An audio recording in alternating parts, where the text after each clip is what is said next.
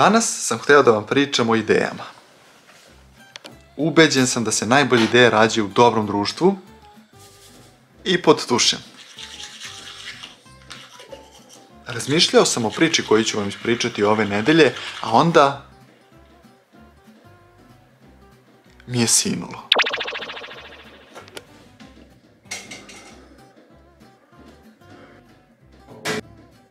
Ave Cezare, Rimljani. To je to. Ovo je moja priča o Rimljanima i top 7 stvari koje će vas zaprepastiti.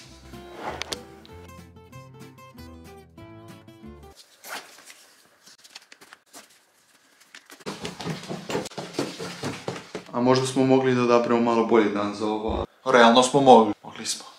Šta je tu kad smo se već sve dogovorili, ajmo. Tokom ovog videa ćete vidjeti jednu e, napravu e, koju su koristili stari Rimljani, a koju sam ja pokušao da rekonstruišem, mislim da sam uspeo, ona i danas može da se koristi. Viminacijum. Beše to nekad blistav grad. Bogati hramovi, široke ulice, luksuzne vile, velike terme, amfiteatar. Poharaše ga varvari pre par godina i malo ostade od njegovog pređašnjeg sjaja. Malo sam se zaneo, ne zamerite. Ovo je priča o Rimljanima. Ne bilo kakva priča, već sedam činjenica o Rimljanima za koje možda niste znali. A gde bismo je bolje ispričali ako ne ovde, u Viminacijumu? Viminacijum se nalazi na nešto manje od 100 km vožnje od Beograda. Stigli smo u Viminacijum, ovo gde se ja sada nalazim je Domus ili uh, istraživački centar, a ovo iza mene je replika vile.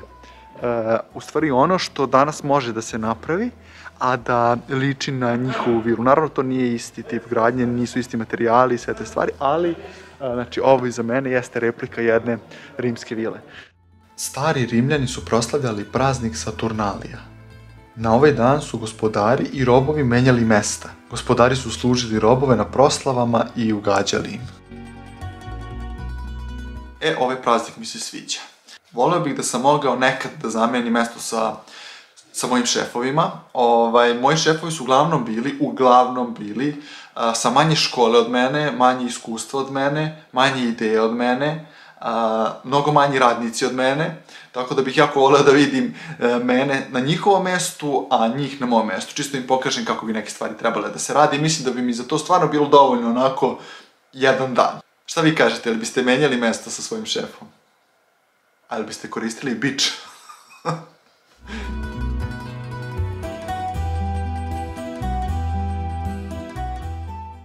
Vreme je za njih bila relativna stvar, s obzirom da im je sat nekad trajao 75 minuta, a nekad 44, u zavisnosti od toga da li je leto ili zima. Kašnjenje se tolerisalo i ovo je sigurno stvar koja bi se Maji dopala. Mi često kasnimo, sad više nije ni bitno čijom krivicom. Balašević je to lepo objasnio, ali parafrazirat ću. Kaže ovako, ako ja recimo treba da dođem negde u 9, i dođem u 9.15, oni će reći, ajde čoveče, kasnimo, znači 15 minuta te nema. Ako zakasnim pola sata, čoveče, čekamo te pola sata, pa te si. Ali ako dođem u 1 sat ujutru, što je 4 sata kasnije, svi će reći, ma bitno da je stigao. Ovde možete videti koji su to rimski imperatori rođeni na teritoriji današnje Srbije. Takođe, tu se nalazi i Hristov monogram, jedan od prvih dokaza ranog hrišćanstva na ovim prostorima.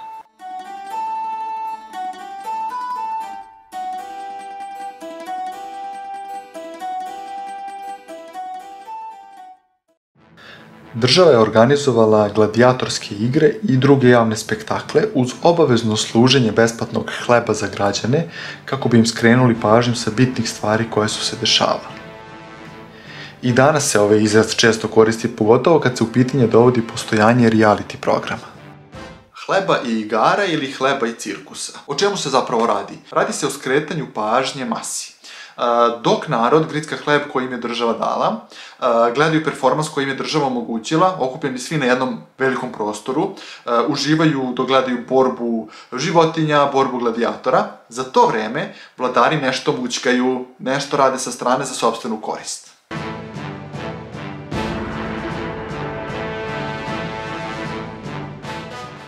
Stari Rimljani su bili skloni preterivanju kad su u pitanju hrane i piće povraćanje je bila recimo tradicija na gozbama. Posle toga su mogli nesmetano da nastave da jedu i piju.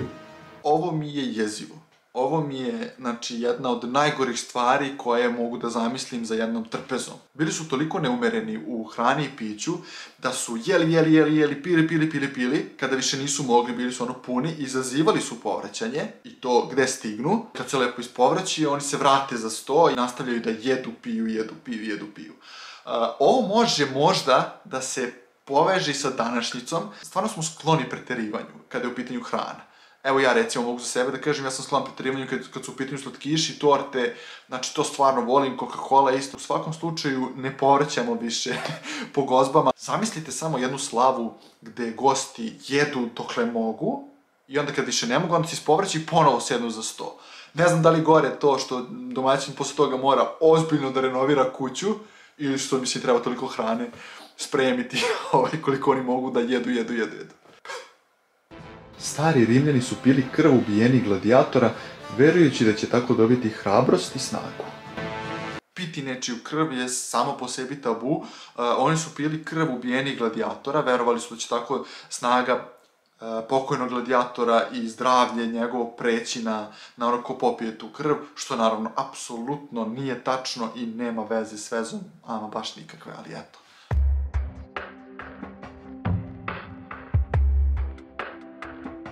Mamut Park je još jedan od razloga da posetite Viminacijum i zakoračite u još dalju istoriju. Ovo iza mene je Mamut Vika.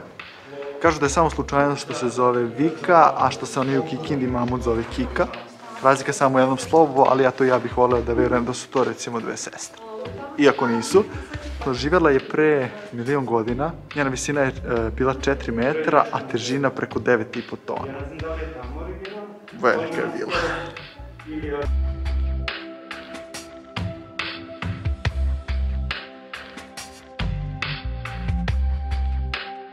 Ovo iza mene sada su i drugi mamuti, do duše samo neki njihovi delovi. Interesantni su mi bili njihovi nazivi tipa Trbuško, Lenka, Nosko, Bunga, Džomla.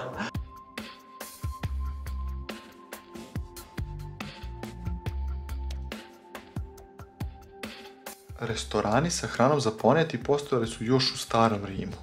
Rimljani su redko kuvali u svojoj kući. Često nisu ni imali kuhinje pa su se hranili na ulici.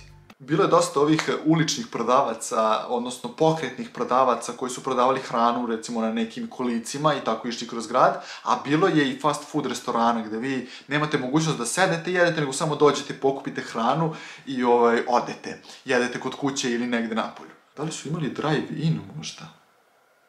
Kao uđu sa konjem i onda okolicom i kao bing bing.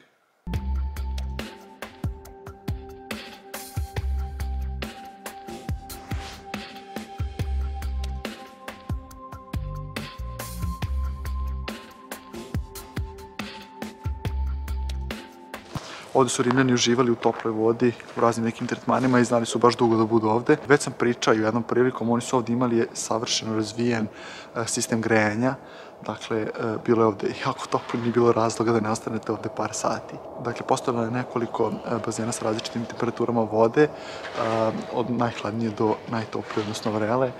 Sistem kanalizacije je takođe nešto što potiče iz, još iz Rimskog carstva i ovde se vide tragovi ovaj, kanalizacije, tako da terme.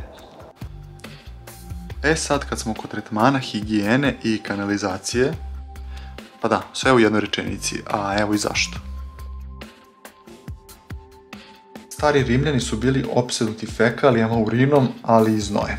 Pogotovo gladijatora. Žene su se mazale znojem gladijatora kako bi imale lepšu kožu najgoru stvar sam ostavio za kraj. Uh, oni su bili opsednuti fekalijama, urinom i znojem, pogotovo znojem gladijatora. Opsednutost urinom je išla do te mere da su pili terpentin kako bi im urin mirisao na ružu. Inače su uh, urin koristili za pranje veša i za pranje zuba.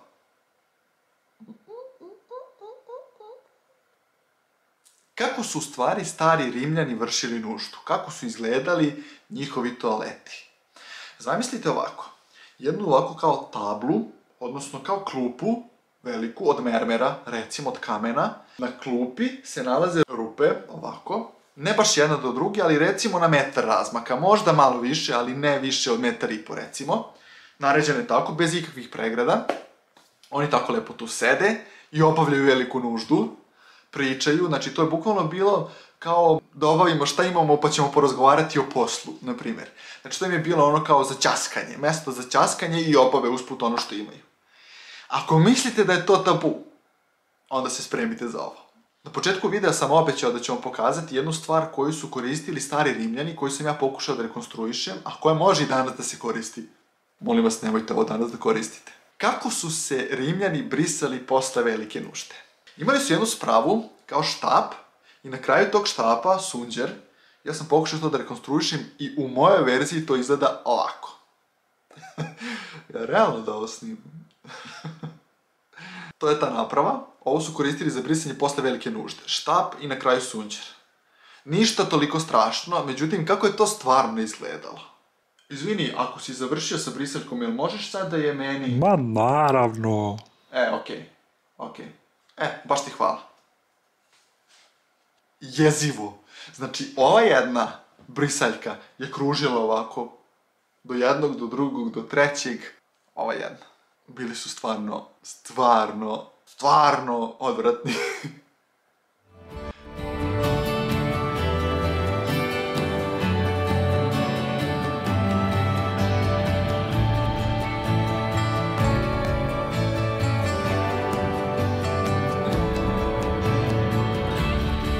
Mi smo stigli do kraja videa.